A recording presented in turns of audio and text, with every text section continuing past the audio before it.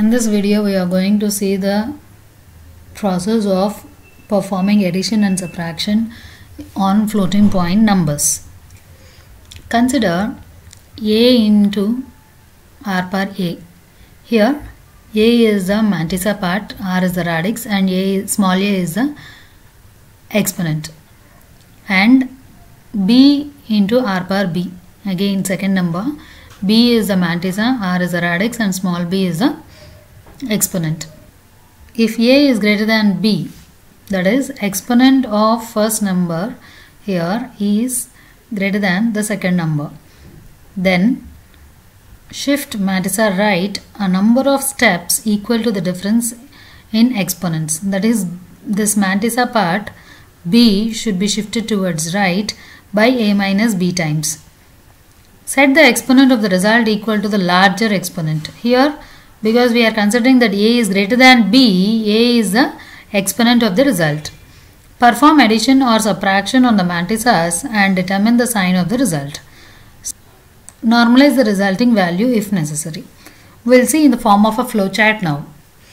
So first subtract operation starts from here and addition operation starts from here.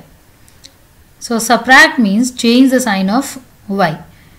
So why we are changing the sign of y here is when we are telling it as x minus y then y here we are considering to be positive. So if we are changing the sign of y to negative then we say it as x plus minus y that is ultimate uh, operation we are performing as addition. So once we change the sign of second number the addition operation will be performed. So here subtraction operation we are converting into addition and same flowchart is being used in the case of addition and subtraction actually. So first we will check whether the first number is equal to 0 or not. So if first number is equal to 0 then the second number will be your answer. If first number is not equal to 0 then check whether second number is equal to 0 or not. If second number is 0 then first number is your answer. If both the numbers are not 0 then we are going to verify whether the exponents are equal or not. If exponents are not equal let us say we are supposed to make them equal. So increment the smaller exponent and shift the significant right. Significant means mantissa part. Then we have to check whether significant is equal to 0 because in some cases when you are shifting towards right there is a chance of uh, getting significant to be 0 so we have to verify whether significant is becoming 0 or not. If it is not 0 then we are going to check whether exponents are equal again or not. So until exponents are equal we are going to continue this process. Suppose in this process at any point of time if significant is equal to 0 then put the other number in z. So if we are going to shift the value of x then in this case y will be the answer. If we are shifting the mantissa part of y then x will be the answer. Stop the process here.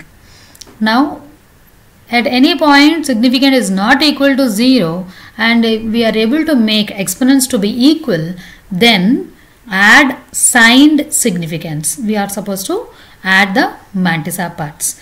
So when we are adding these mantissa parts there is a chance that the result is 0. So if the result is 0 just return the answer as 0.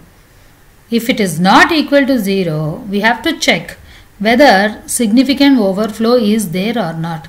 That is, if it is larger than the possible largest value, then we are supposed to shift significant towards right. Then increment the exponent. Once if you increment the exponent, there is a chance that exponent may be overflow.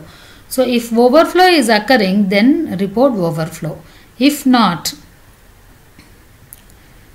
we have to verify whether the result is normalized form or not. If it is normalized, return the results. If it is not normalized, again shift significant towards left. So once you are shifting towards left, you are supposed to decrement the exponent value. Once you are decrementing the exponent value there is a chance that the exponent goes underflow. So if it is going underflow report underflow. Else not you have to verify and repeat this process until the results are normalized if significant overflow is not there directly we have to verify whether results normalized or not so this is how the addition and subtraction process will be carried out on floating point numbers. Thank you.